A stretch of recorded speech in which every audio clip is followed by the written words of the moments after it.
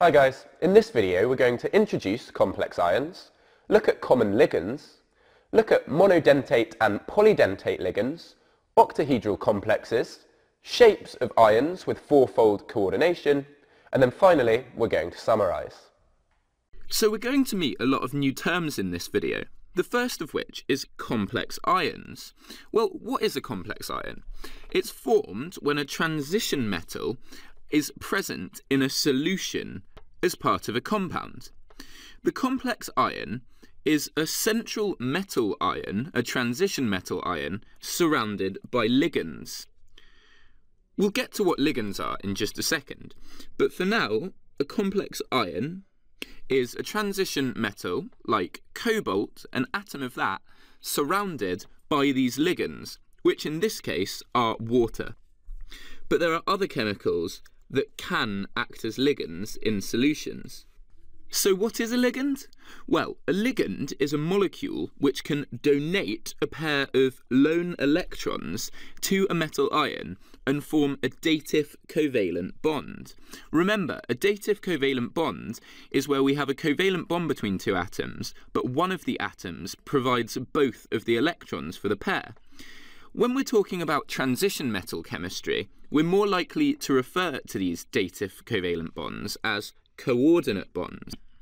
So now we can fully describe a complex ion.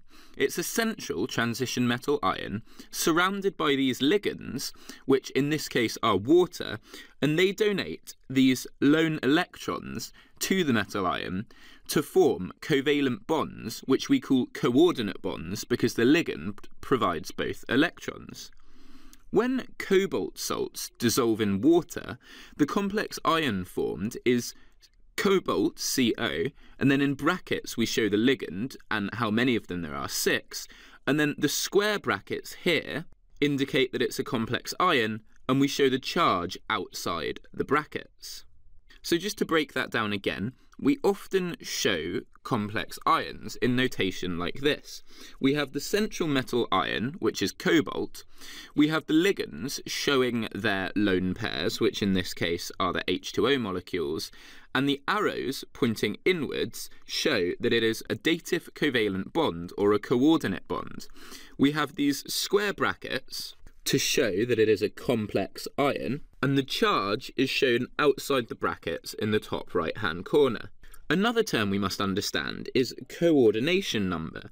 This is the number of coordinate or dative covalent bonds to the metal ion. So in this example above, we have one, two, three, four, five, six dative covalent bonds. So this complex has a coordination number of six. Points to note about the ion that we've already talked about are the square brackets, which mark it out as a complex ion, and the charge shown outside of these square brackets. Water is uncharged, and so in the example of cobalt above, the cobalt has a 2 plus charge, and this gives the overall charge to the complex ion because there's no contribution from the water. When we look at some other things that can form ligands, the common feature that makes all of them ligands is that they have at least one lone pair of electrons per molecule in their outer energy level.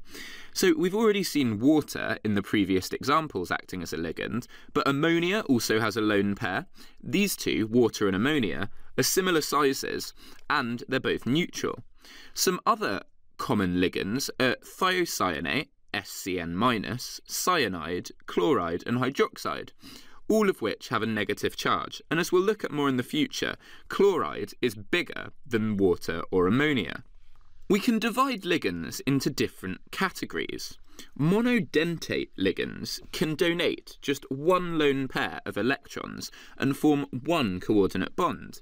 In fact, the dentate part of monodentate comes from the Latin of tooth or to bite, and mono means one.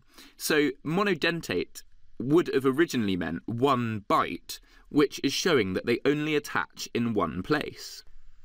H2O is a good example of a monodentate ligand, and you can see here that the oxygen only donates one lone pair per molecule of water that bonds.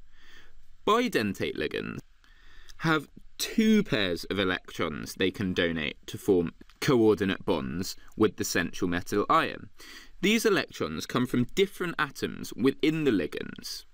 The types of molecules that form bidentate ligands, so more than one covalent, dative covalent bond, you won't have come across so commonly in chemistry. The most common example of a bidentate ligand is ethane 1,2-diamine, which we often refer to for ease as just EN when we're drawing out complexes. So we have two CH2 groups in the middle and then two NH2 groups on the end. And it's on these that we have the lone pairs of electrons for donating to form the coordinate bonds. As well as bidentate ligands, we have more polydentate ligands. Poly means many, remember. And an example of a polydentate ligand is ethylene diamine tetraacetic acid, EDTA. This is multidentate because it can form more than one bond. So you could include bidentate in multidentate. Specifically, it's a hexadentate ligand, hexa meaning that it can bond six times from one molecule to the central metal ion. The EDTA is present as EDTA 4 minus in the solutions, and the complex ion have six lone pairs to make these bonds. The six lone pairs are located here and on all four other oxygens which are present as carboxylic acids which have lost their hydrogen, leaving it with a 1 minus charge. And then we also have lone pairs on the two nitrogen atoms you see at the ends of the molecule here, and it's these six locations of lone pair that bond onto the central metal ion to form the complex. EDTA is useful to bind metal ions in solution, which decreases their concentration. It's known as a chelating agent. More uses of EDTA are in detergents used for washing and cleaning, foods, and medical applications. This video is getting quite long, so we're going to split it into a couple Hey guys, I hope you enjoyed the video. If you're looking for an amazing A-level chemistry resource, join me today in my series of engaging bite-sized video tutorials. Just click the Snap Revise smiley face and together let's make A-level chemistry a walk in the park.